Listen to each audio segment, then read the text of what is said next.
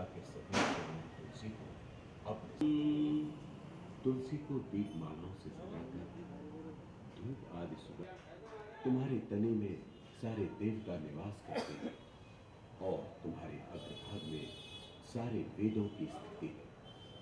हम तुम्हें बारंबार प्रणाम करते हैं। जो सौभाग्यवती स्त्री